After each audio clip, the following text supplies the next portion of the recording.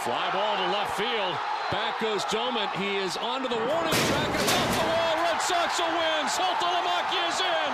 It takes 11, but the Sox win at 6-5. What a night for Stephen Drew.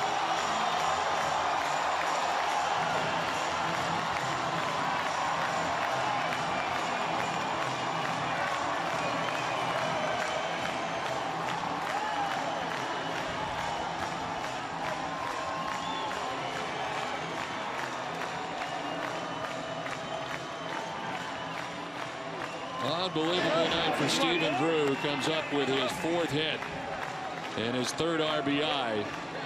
And by far his best game in a Red Sox uniform tonight. Well, we talked about it, Don. You know, he got the right guy coming to the plate. I mean, it was his night tonight, having a big night for the Red Sox. And uh, the Red Sox doing that damage to get this win with two outs in the inning.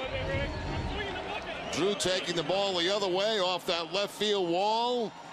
Drives in his third run of the night, and of course, this being the game winner.